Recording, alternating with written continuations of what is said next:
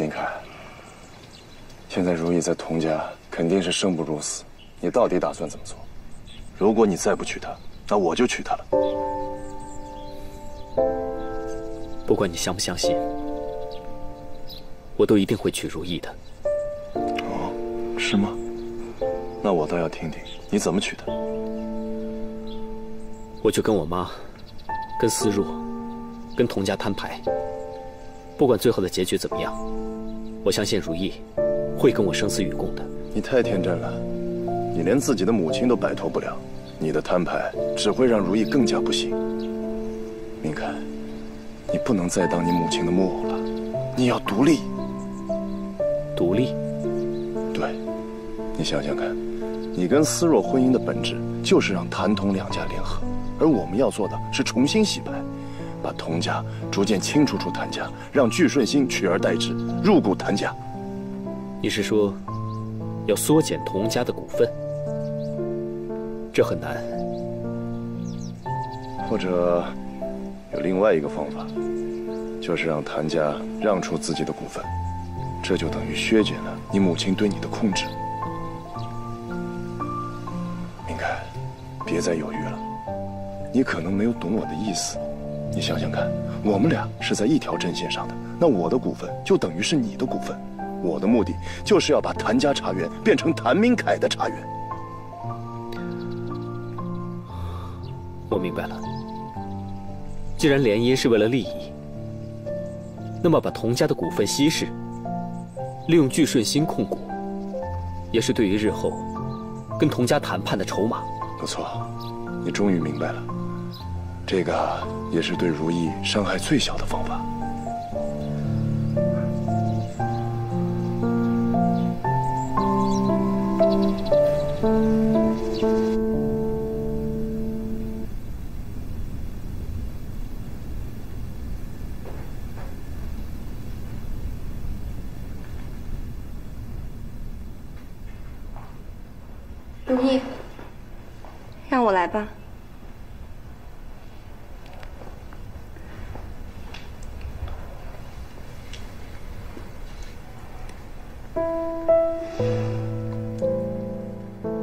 锦华姐，这个家里只有你不恨我，为什么？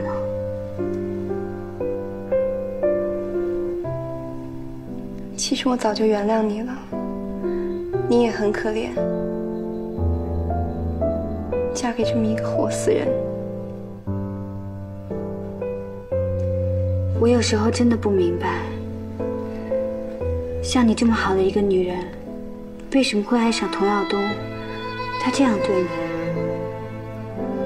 他以前不是这样的。从前，他也只爱我一个人。我永远都记得，母亲带我去茶园。当我第一次见到他，我的心砰砰直跳。还有就是第一次。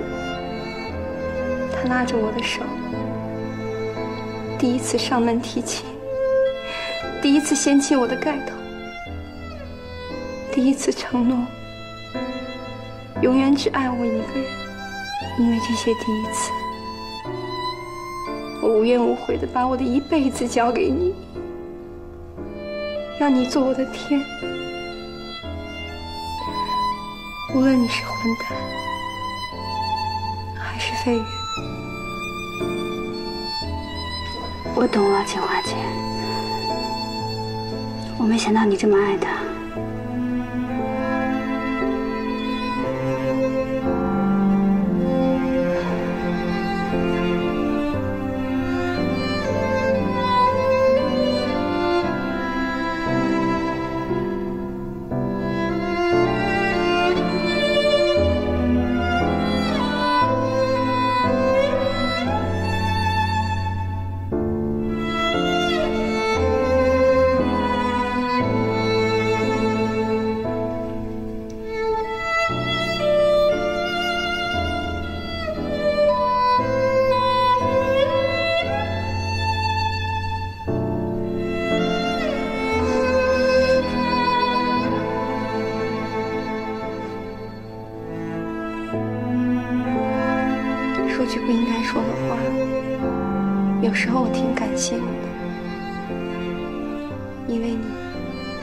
他掉下山崖变成了一个活死人，至少他能安安分分的在家，我时时刻刻都能看见他，至少这个男人完全属于我，我可以照顾他一辈子。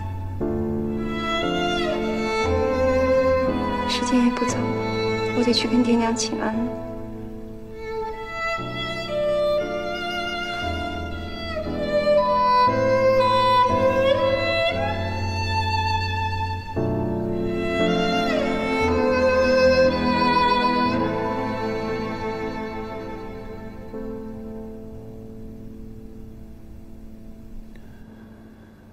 锦华，你们也早点去休息吧。嗯夫人，老爷，慌慌张张的干什么呀？夫人，少爷他有知觉了，你确定吗？确定。我刚才看到他流眼泪了。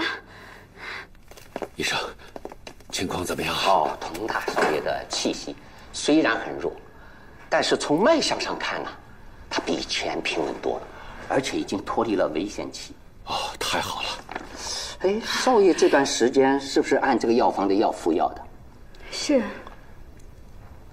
啊，看来这个药方的药起作用了，继续服用这药，少爷的病啊会很快好转。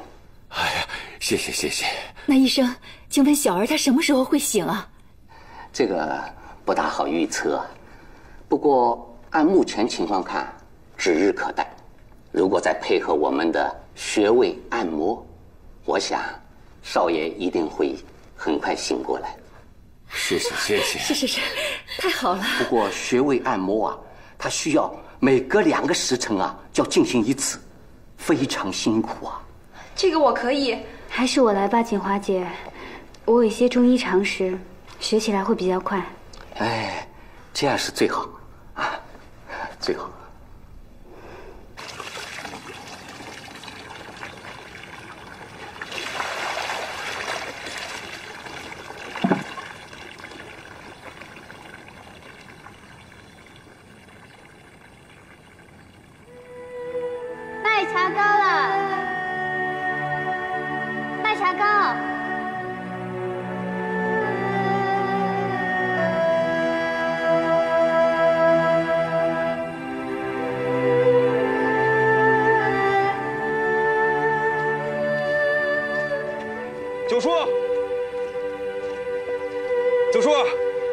消息！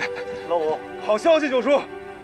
就我那朋友，他跟我说啊，就就佟家那个拉车的车夫，他说佟少爷开始有知觉了，没准哪天就能醒。真的，真的，他亲口跟我说的呀。老天开眼，如意快回家了，如意快回家了。秋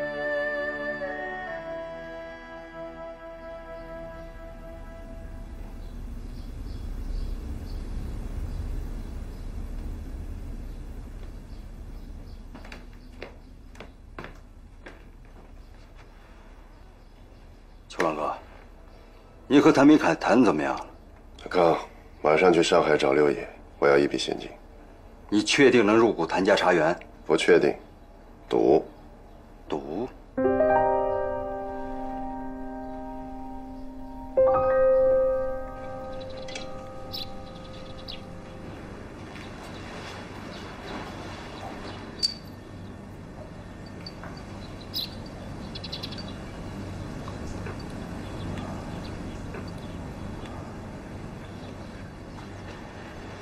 夫人，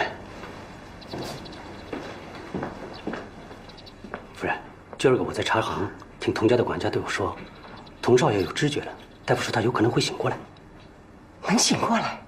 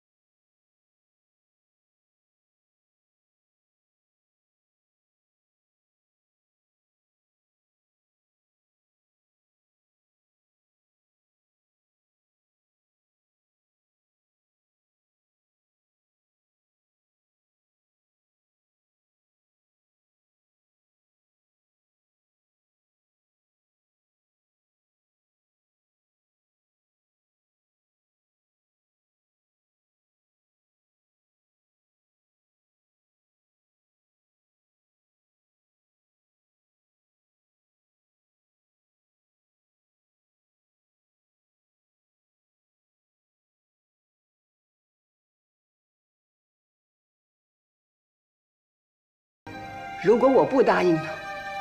你可以逼着我放弃我的爱情，可以逼着我放弃我的生活，但是你总得让我争取点什么吧。我现在就是要求你，把谭家还给谭姓的男人，否则我也会像我父亲一样，把你看作是我这一生最想摆脱的人。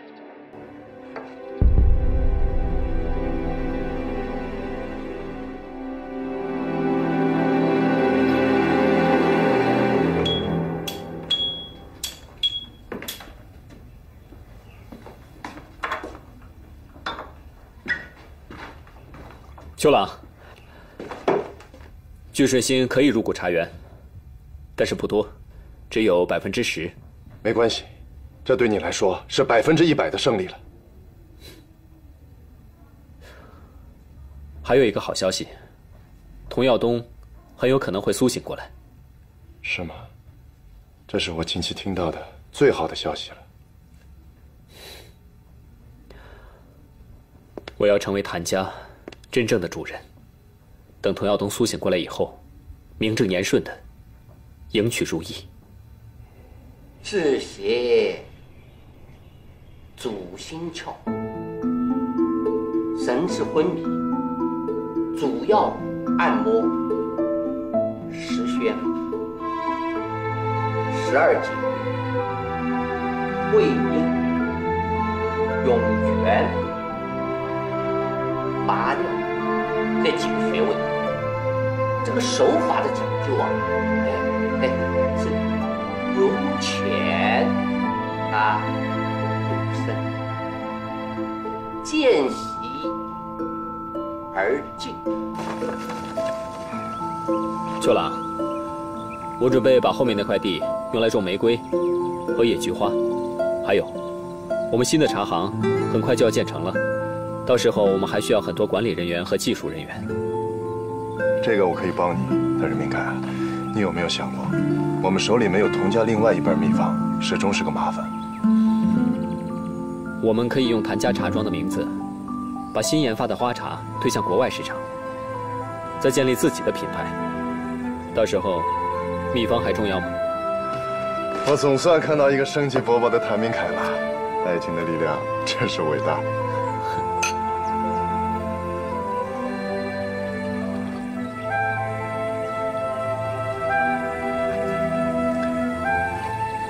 兄弟，这是如意姑娘亲自做给你和他爹的衣裳。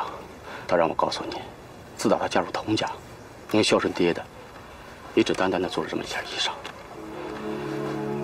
等大少爷醒了，他就回去好好的孝顺他老人家。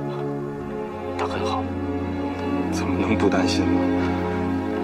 这童少爷到底怎么样了？啊，大夫说大有好转，醒来是早晚的事儿。多亏了如意姑娘，这段时间。他的日子好过多了，真的。啊，这个是九叔给他做的茶糕，你带给他，你就跟他说家里都好，我照顾着九叔呢。啊，好，你放心吧。哎呦，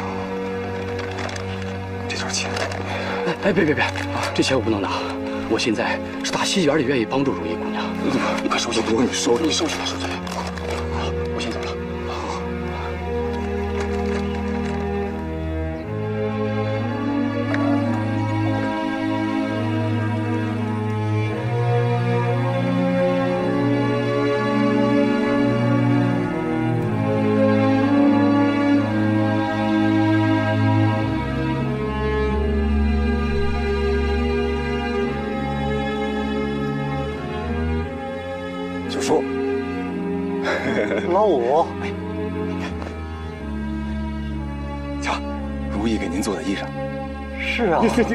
一件呢，你试试。哎，好好好，试试。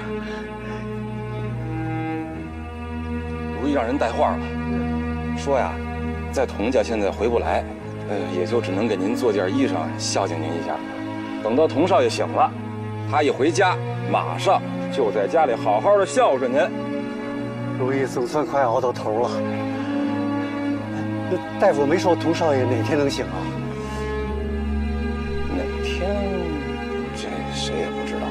反正大夫说了，那醒过来是迟早的事儿。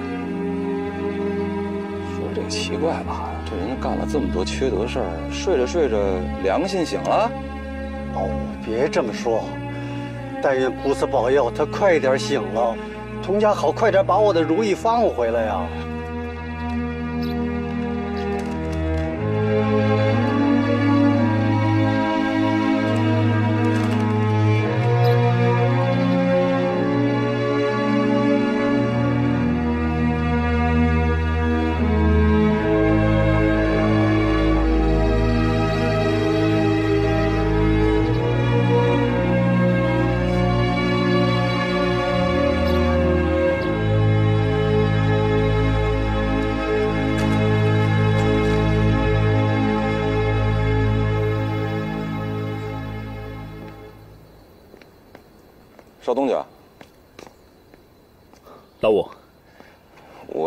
去看九叔了。九叔没事吧？挺好。自从知道童少爷会醒的那天起，精神就比以前好多了，有盼头了嘛。啊，这是如意给我做的新衣服，挺好的。他还好吗？好。我那兄弟说，如意不分白天黑夜的照顾童家少爷，他的诚意打动了童家，日子比以前好过多了。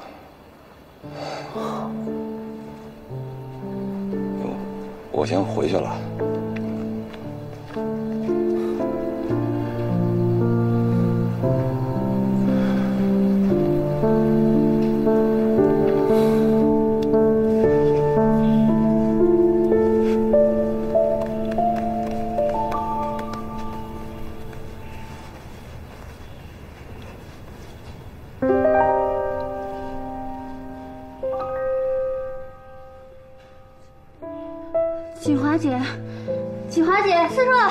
华姐，大少爷，他手指头动了。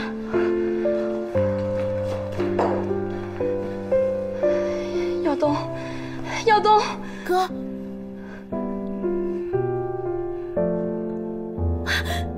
哥的手指头动了，哥，哥，耀东，你听得见我说话吗？你睁开眼睛看看我，哥，哥，你们别担心，这说明童少爷很快就会醒了。我只要他一天天的好起来就行。如意，谢谢你，你为耀东所做的一切，我都看在心里。你不仅在治耀东的病，你带给我们所有人都有希望。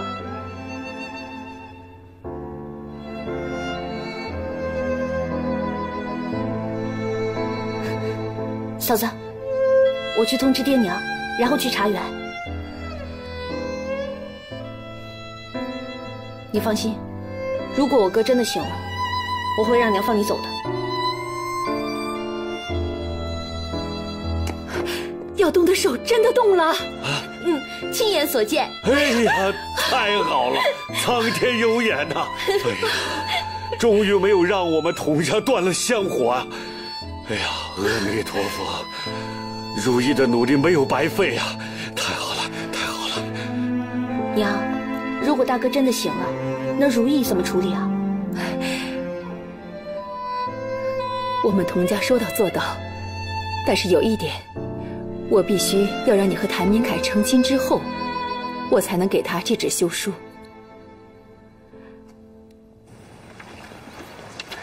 我是金陵大学的学生，我的设计报告主要宗旨是采用轮班制来改革现代茶农的全天候工作制。听上去不错，好，我会好好的阅读你的报告的。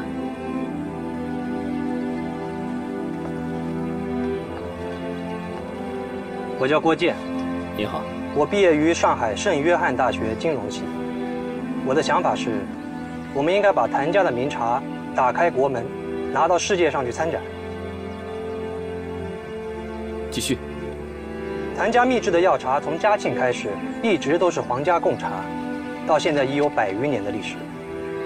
可是目前的局势变了，我们应该研发适合国际市场的新的茶品，借用谭家茶庄这个旗号，不断的向国际市场推广新的品牌。你跟我的想法一模一样。婆婆，你怎么不过去啊？今天我们招聘的可都是将来要参与管理茶园的人啊。我答应明凯，放权给他。婆婆，你放心吧，这段时间明凯在改制茶园，有很多客户回流呢。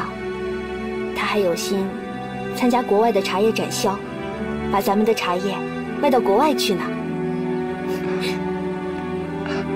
你哥最近怎么样？他的手指动了。他们可以不知道我是谁，可是不能不知道你是谁。林凯，我给你找的可都是高材生。嗯。各位，如果你们愿意来我们茶园工作的话，薪水待遇绝对不是问题。我只希望各位能跟我同甘共苦。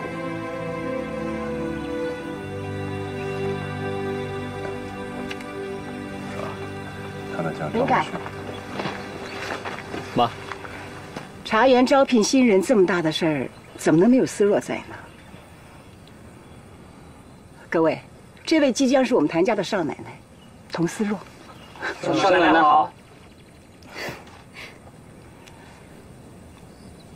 明凯，我只是想来看看有什么可以帮忙的。谢谢，夫人，您来的正好，给您介绍一下我们茶园的新学徒。不必了，茶园有明凯和思若守着，有你从旁协助，我还有什么不放心的？秋郎，这个是谭家茶园有史以来第一次有外姓的股东啊。夫人，秋郎荣幸之至。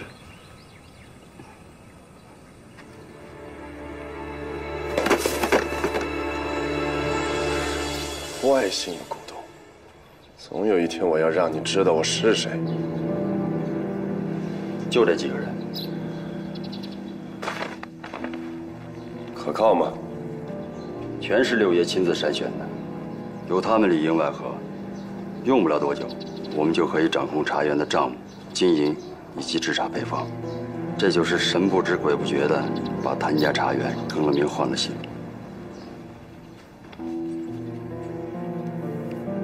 秋朗哥，刚才我出什么事了？没事儿。叶子，你知道吗？童耀东快醒了。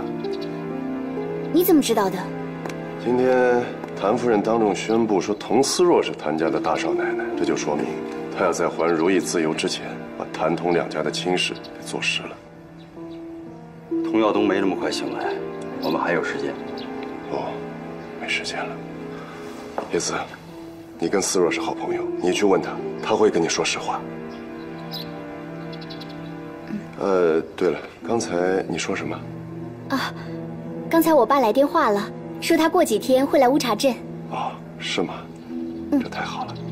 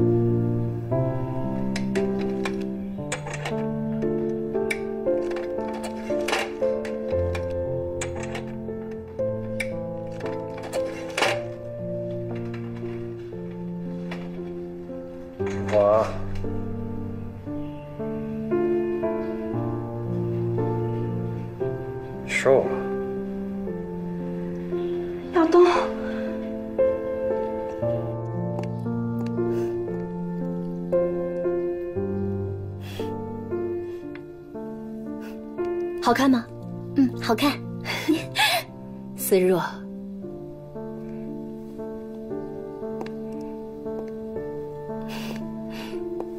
你这身嫁衣，该是第三次了吧？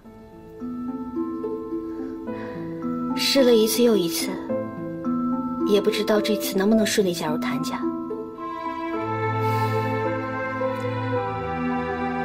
虽然这是一件喜事，可娘心里总是替你委屈。你要老老实实的告诉娘，这谭明凯和如意，他们私下是不是一直还在联系？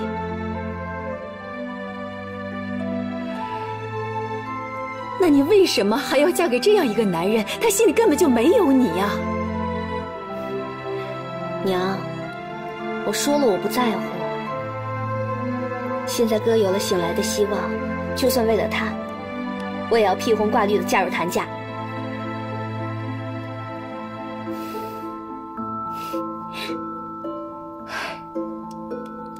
思若，你是千方百计的想把自己变成一个绳子，牢牢的拴住谭明凯。可他谭明凯的心里，却一直装着别的女人。如意都能跟我哥的衣服拜堂成亲了，我有什么不能的呀？思若，我如果嫁了，这辈子还有可能幸福；不嫁，就一辈子不幸。思若，我知道你一直深爱着谭明凯，可你确定这样真的会幸福吗？我家已经够不幸的了，我把自己豁出去了，换回我哥的一点欣慰，还有我家族的繁荣昌盛，值了。娘，耀东，耀东醒了，耀东醒了，耀东真的醒了。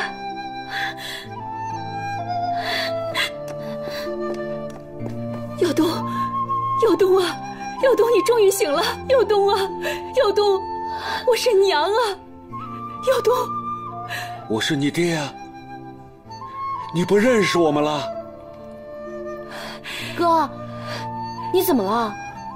这是哪儿啊？人间还是地狱？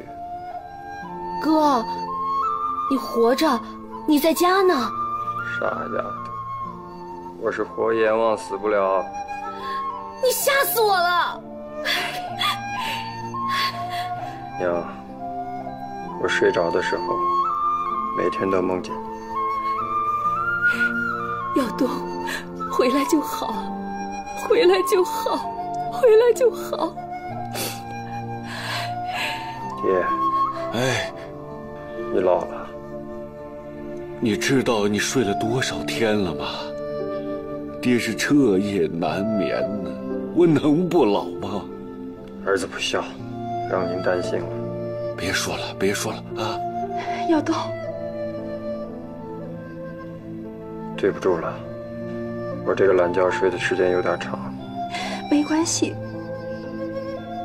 这也是你在我身边时间最长的一次。哭吧，我能想得到，我睡着的时候你掉了多少眼还有事，那我先走了。送你啊。嗯。站住！你怎么会在这儿？我嫁给你了。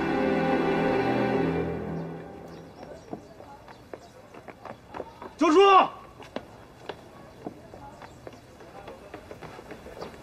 九叔！九叔！九叔，老五，九叔，九叔，九叔，有救了！童耀东醒了。你说什么？童耀东醒了。哎呀，如意可以回家了。哎，如意可以回家了。耀东，你对咱们童家和对思若的这番心意，娘心里全明白。是为娘的让如意和你的衣服拜了堂成了亲。还是自个儿的亲人了解我呀。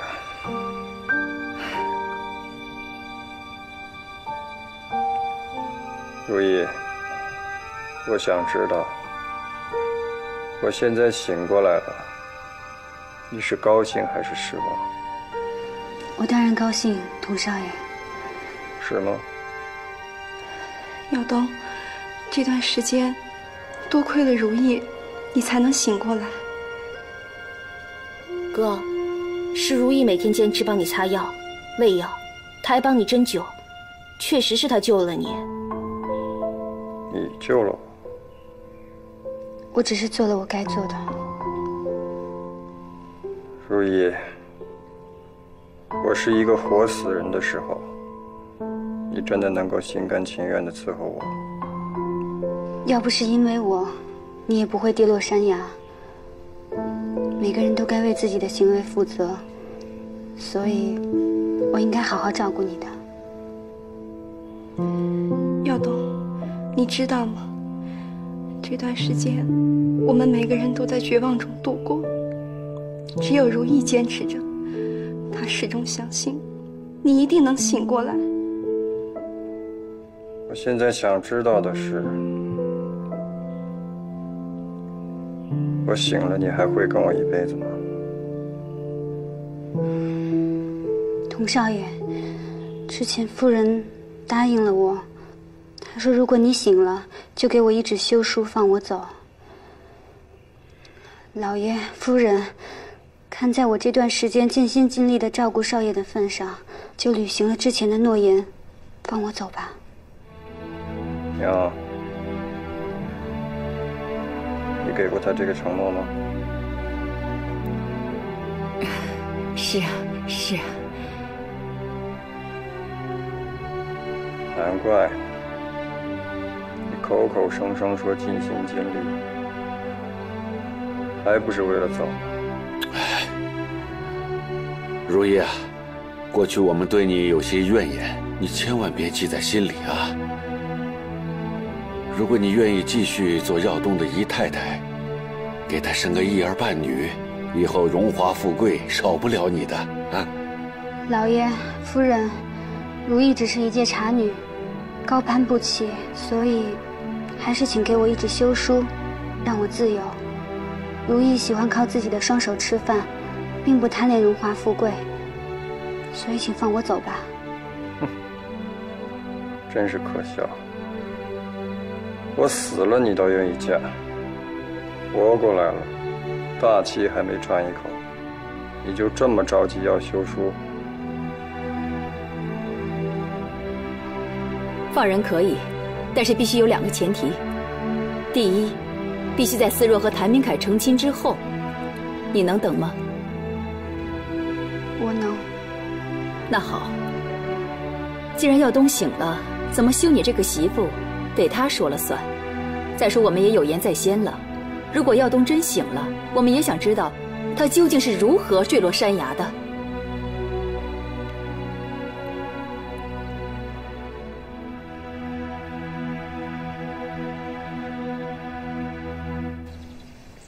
我准备试着种一些玫瑰花茶，那些西方人特别喜欢那种味道。还有，你介绍那几个人特别好，上手非常快。秋朗，秋朗，你没事吧？啊，我让叶子去了童家。童家？你不是跟我说要以静制动吗？昨天我在我妈和思若的面前表现多好啊！但是童耀东有了苏醒的迹象，我担心他们赶在童耀东醒过来之前逼你和思若成亲。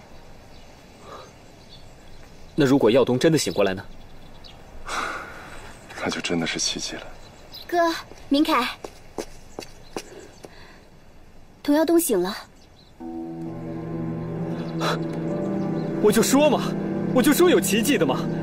现在童家要履行承诺，放了如意了。明凯，你现在不能去。为什么？你想想，如果你现在在童家出现，他们会放人吗？明凯，你先不要着急，我看童耀东和童老的神情，他们会放过如意的。你们不用劝我了，先不说如意。耀东是跟我从小一起长大的兄弟，他现在醒过来了，我能不去见他吗？明凯，明凯，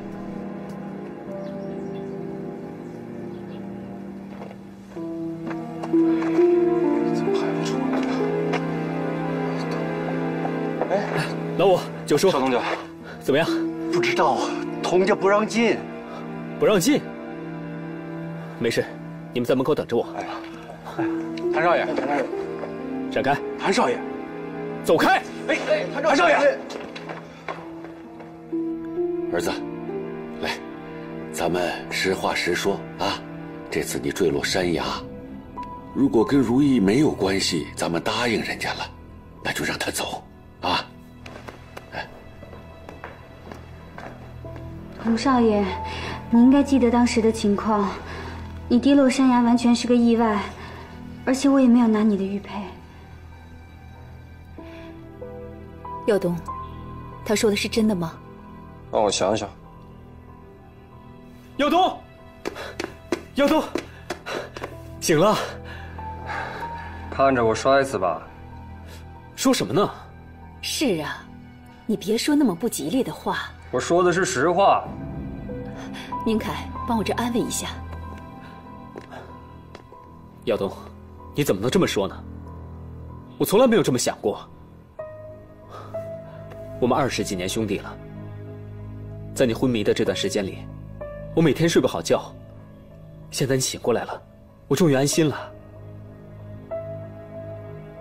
好，你的好意我心领了，回去睡吧。哥。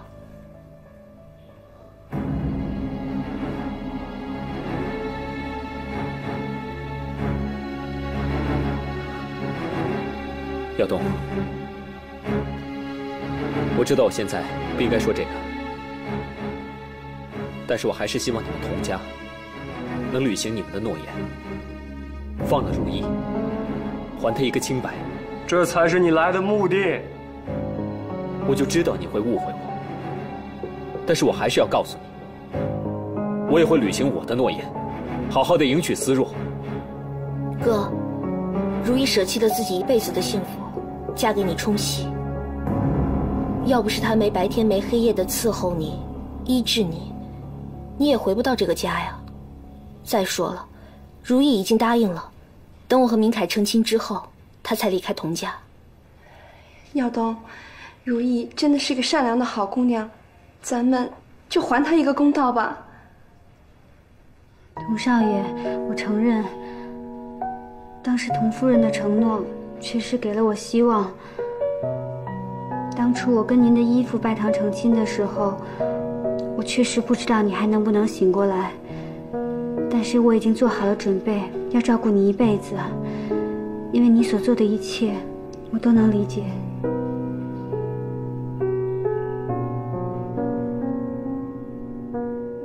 童少爷，我真的没有把你推下山崖，我也没有拿你的玉佩。童少爷，请您还我一个清白，还我一个公道吧。看在如意救了我一命的份上，我可以告诉你们我是怎么摔下山的。住手！在我还没写一纸休书之前，她还是我的女人。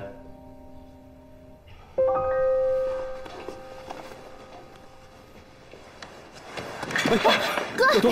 耀东，都别动！耀东，我的腿怎么没知觉了？可能是躺得太久，麻痹了。